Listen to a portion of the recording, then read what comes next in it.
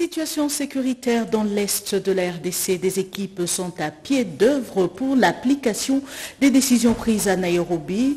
Le facilitateur désigné par la communauté des États de l'Afrique de l'Est séjourne depuis hier à Goma. Mobilisation de ressources pour une aide humanitaire efficace euh, en faveur des déplacés de guerre au Nord Kivu. Un cadre de concertation s'est tenu hier entre le gouvernement congolais et différents partenaires. Mesdames et messieurs, bonjour et merci de suivre cette édition de 7 heures sur la RTNC.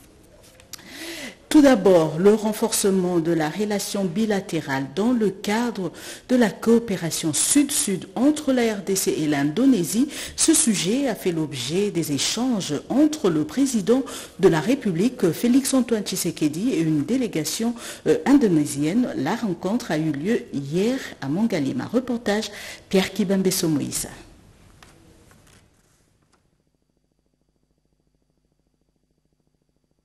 La République démocratique du Congo et l'Indonésie veulent redynamiser leur coopération économique dans les secteurs des minéraux stratégiques. C'est dans cette optique que le président de la République Félix Antoine Tshisekedi Chilombo a eu des entretiens ce mercredi dans son cabinet de travail du palais présidentiel du Mont Galiema avec une délégation ministérielle indonésienne conduite par le ministre en charge des affaires maritimes et des investissements, Luhut Binsar Panjaitan.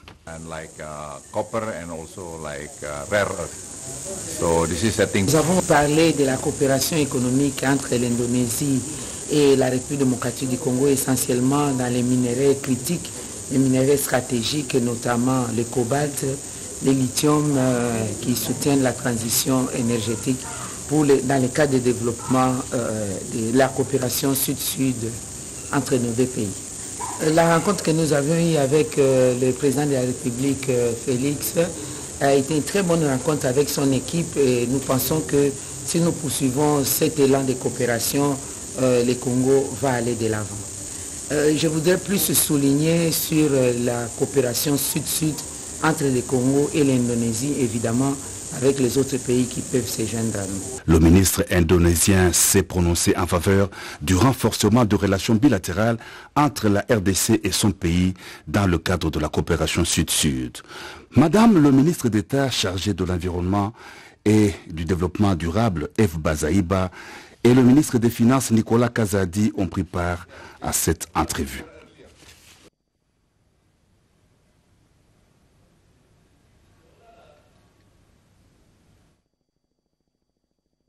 Arrivé hier mercredi à Goma du facilitateur désigné par la communauté des États de l'Afrique de l'Est dans la résolution de la crise sécuritaire dans l'Est de la RDC. Sur place, Uhuru Kenyatta a eu des échanges avec différents acteurs impliqués euh, dans la décision prise à Nairobi le 30 juin dernier, dans cette résolution, il y a notamment euh, le pré-cantonnement, le cantonnement et le désarmement des troupes du M23. Giscard Koussema. Facilitateur désigné par la communauté de l'Afrique de l'Est pour piloter les processus de Nairobi, l'ancien président de la République du Kenya, Uhuru Kenyatta, est arrivé ce mercredi en fin de matinée à Goma. Uhuru Kenyatta est venu échanger avec les acteurs étatiques et non étatiques impliqués dans la mise en œuvre de décisions prises à Nairobi le 30 juin dernier. Cette réunion avait statué sur les débuts effectifs des opérations de pré-cantonnement, cantonnement et désarmement des troupes du M23. Il s'est donc agi d'évaluer ces jours sur place à Goma les niveaux d'engagement des uns et des autres dans ces processus devenus irréversibles. À Goma, les facilitateurs Uhuru Kenyatta a retrouvé les mêmes acteurs qu'il avait réunis il y a dix jours à Nairobi.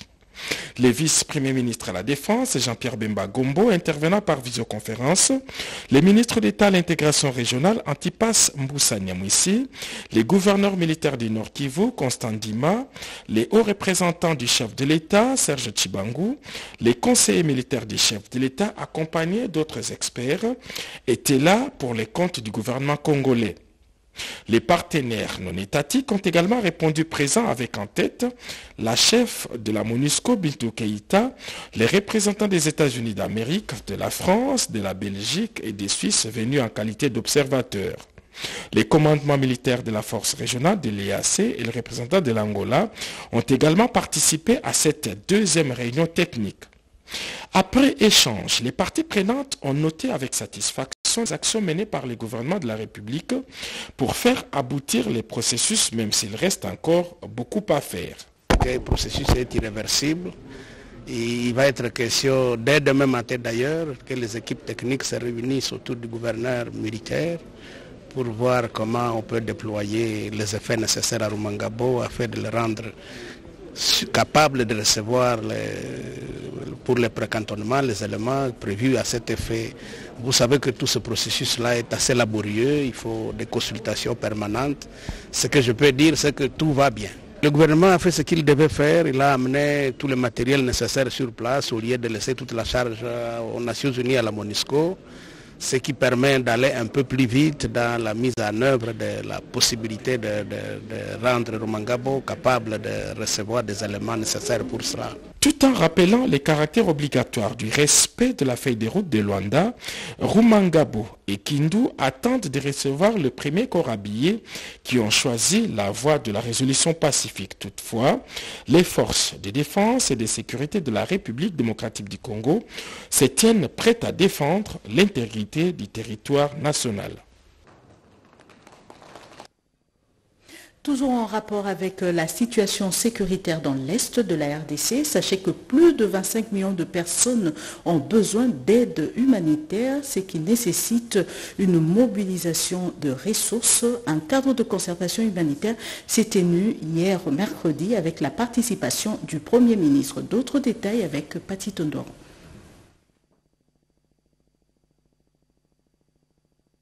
La guerre imposée à la République démocratique du Congo par le Rwanda et à la base de la crise humanitaire dans l'est du pays.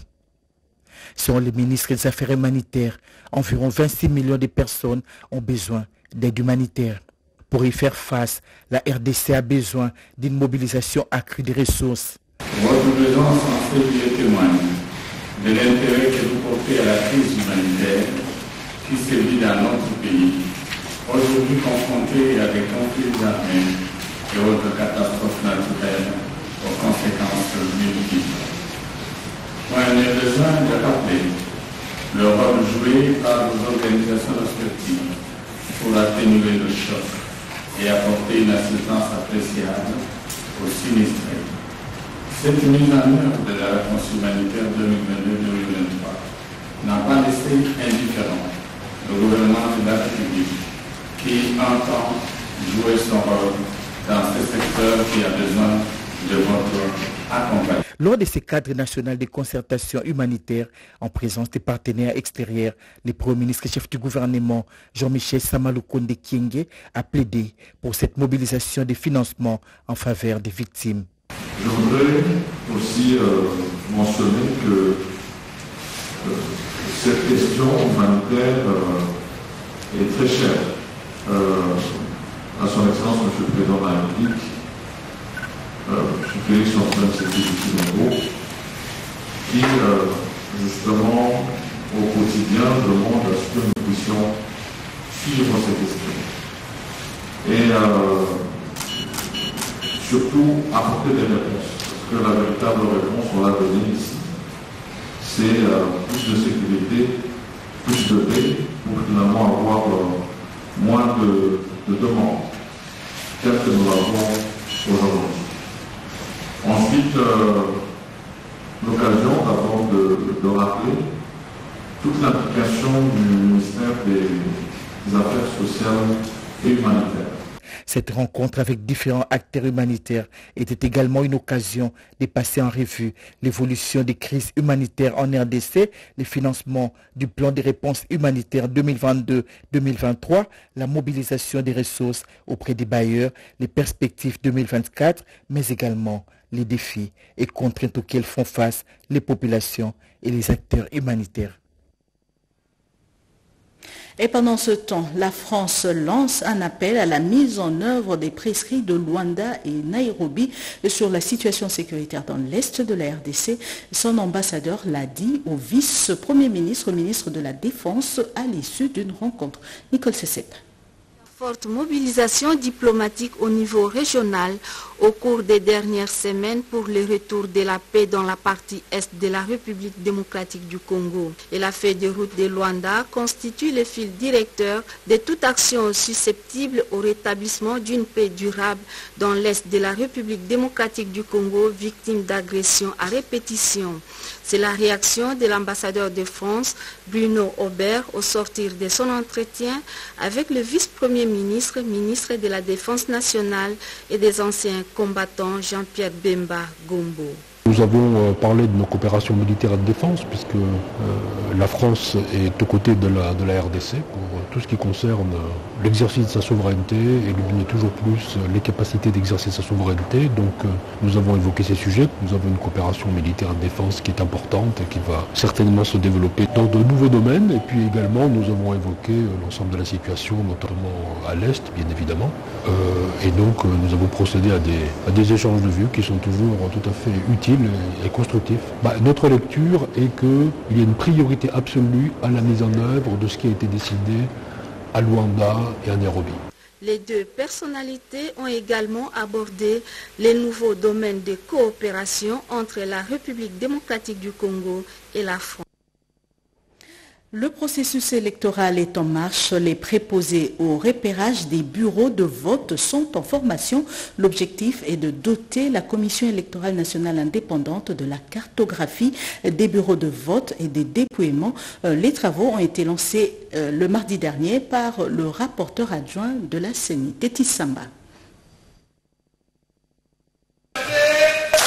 C'est un total de 2500 préposés qui seront formés pour le repérage des bureaux de vote et à l'identification des membres des bureaux de vote et le dépouillement. Les facilitateurs de cette formation sont des missionnaires de Kinshasa, des chefs d'antenne et les informaticiens. Ces travaux ont été lancés ce mardi 11 juillet 2023 par le rapporteur adjoint de la Commission électorale nationale indépendante, Paul Moïndo Moulemberi. L'objectif général de cette opération est de doter la CENI d'une cartographie des bureaux de vote et de dépouillement.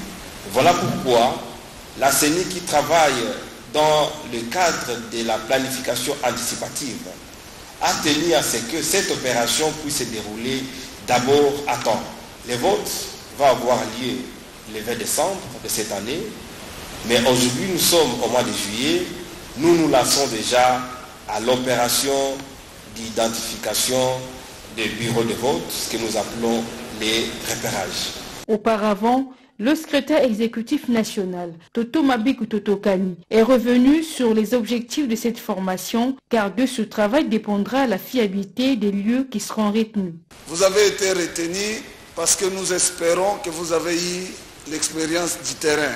Nous comptons beaucoup sur vous parce que nous voulons que vous puissiez nous produire un travail de qualité. Donc vous avez obligation des résultats parce que le délai de votre travail sera très court. Ces assises vont se dérouler pendant deux jours, soit du 12 au 13 juillet 2023, au siège de la Commission électorale nationale indépendante. Des avocats sensibilisés à participer dans la lutte contre le blanchiment des capitaux, le secrétaire exécutif de la cellule nationale de renseignement financier Adler Kissoula en a parlé longuement lors de la célébration du 55e anniversaire du barreau. Reportage Guy Matundu. 55 ans d'existence. À la faveur de cette commémoration, il a convié le secrétaire exécutif de la cellule nationale de renseignement financier, CENAREF, pour vulgariser la loi sur le blanchiment des capitaux et le financement du terrorisme. Adler Kishula a éclairé la lanterne des avocats sur ces fléaux, reconnaît le bâtonnier national. Nous avons une loi portant lutte contre le blanchiment des capitaux et le terrorisme. Et l'avocat, c'était un assujetti la présence du secrétaire exécutif de la Exactement, euh, euh, il, était là pour nous expliquer, nous donner les, points saillants, les grandes lignes, les innovations, parce que l'avocat est tenu à faire des déclarations de soupçons. Et que donc c'est important pour nous d'être euh, formé, parce qu'en ce moment-là, l'avocat sait à quoi il doit s'en tenir. Adler Kisula en appelle à la collaboration de l'Ordre national des avocats dans cette croisade contre le blanchiment de capitaux pour quitter cette liste. C'est une affaire de tous. nous avons l'obligation de communiquer. C'est pourquoi j'ai apprécié l'invitation de la nationale. Parce que quand on parle à un avocat, on parle de 50 personnes. Alors, quand je vois les noms ici, multipliés par vos différentes opinions et membres de famille, je pense que vous allez bien expliquer la situation le pays est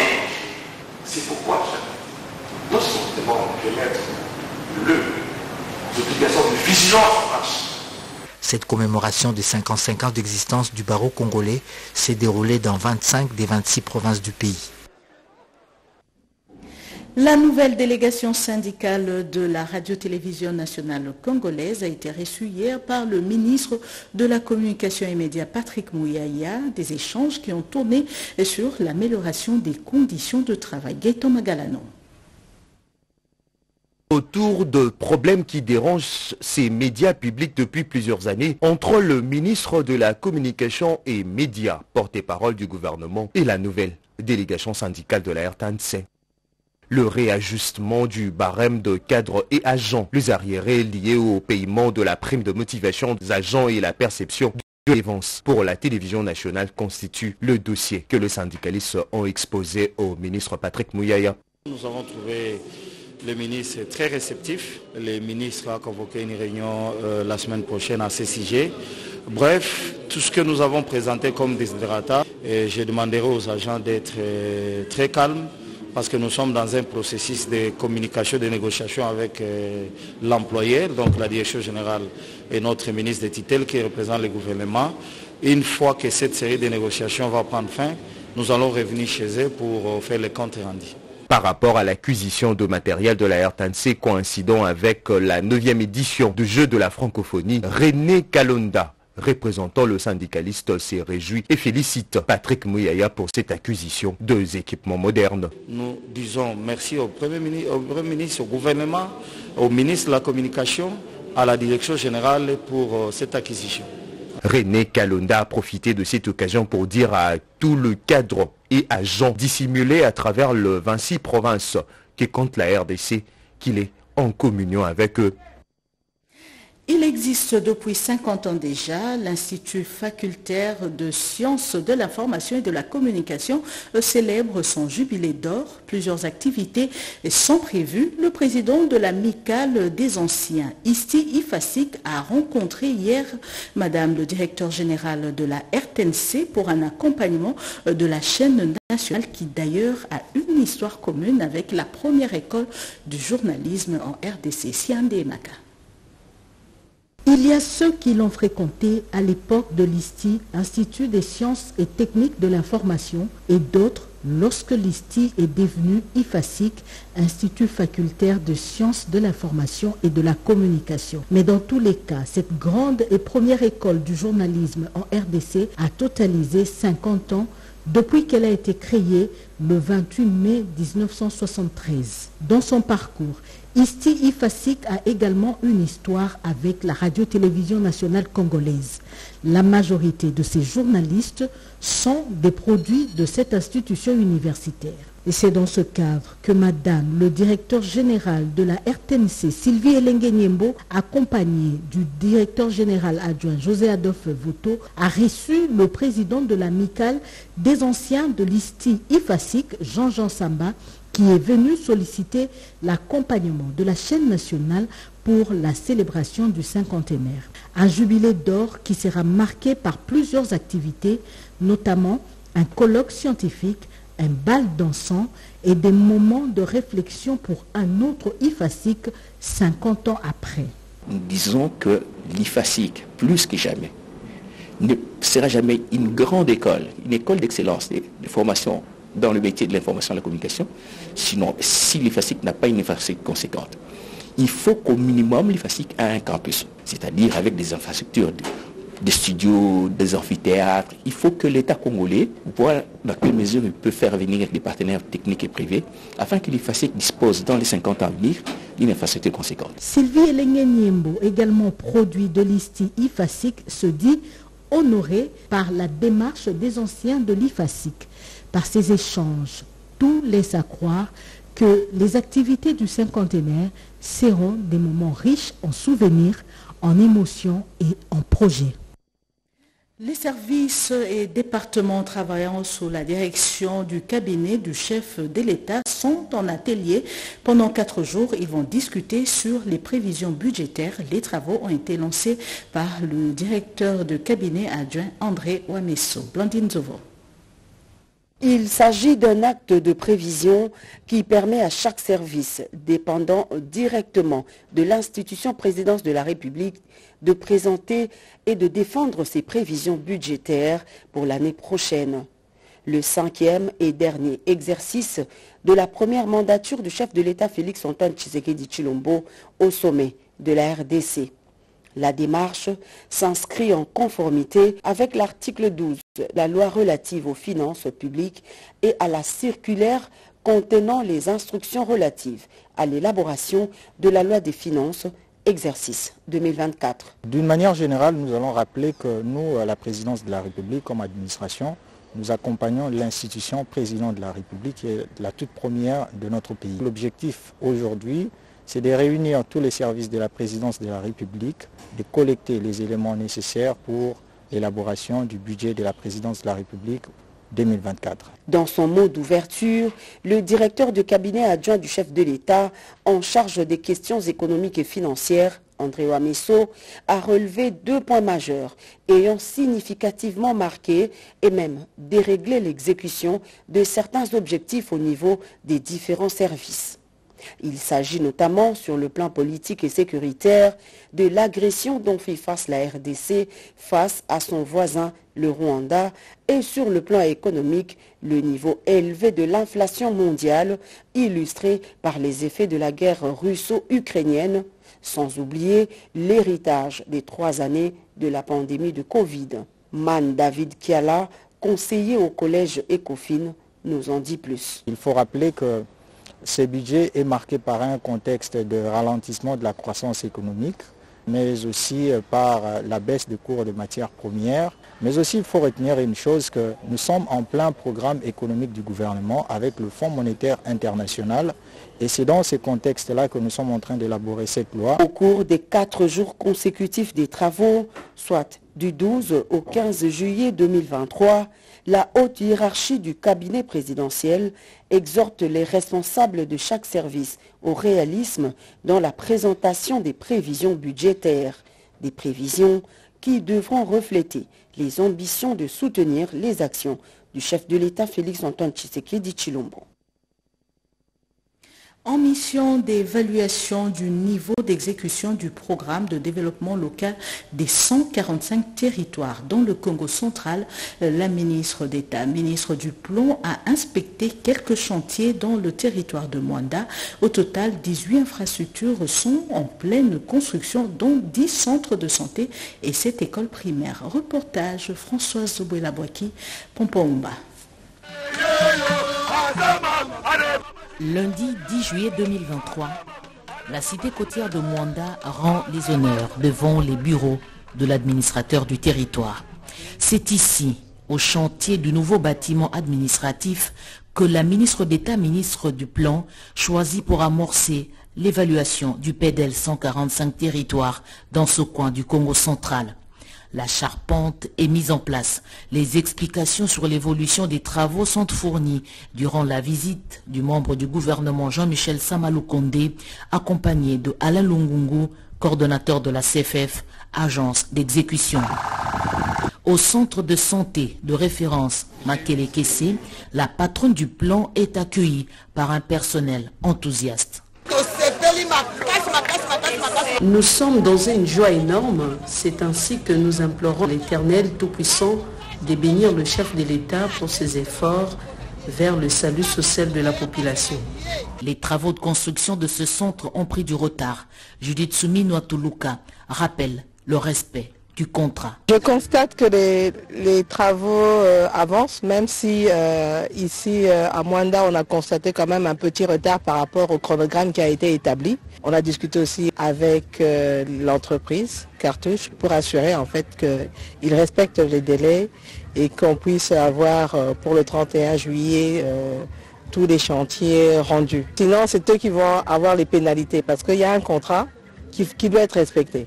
À l'école P1 Sumbu Makumbu, la population admire l'évolution des travaux.